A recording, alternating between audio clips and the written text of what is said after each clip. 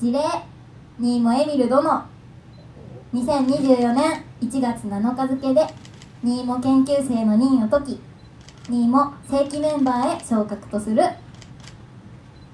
新モの活動を楽しそうにしている姿。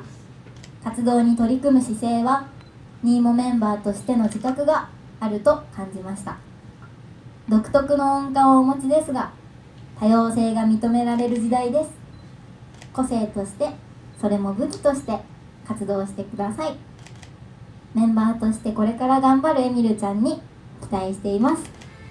2024年1月7日株式会社ブルークリエーション代表取締役森川明。じ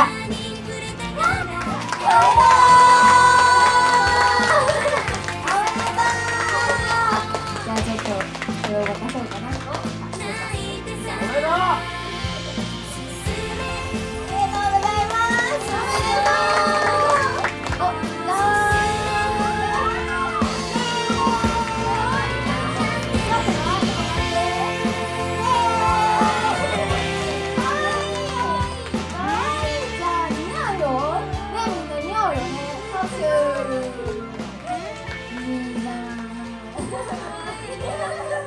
どんなじゃあちょっと感想をね聞こうかな。どういうお気持ちでした今まで？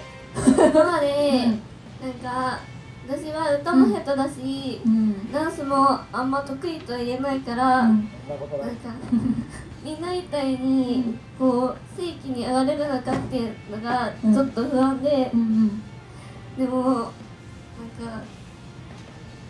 うんいいよゆっくりで。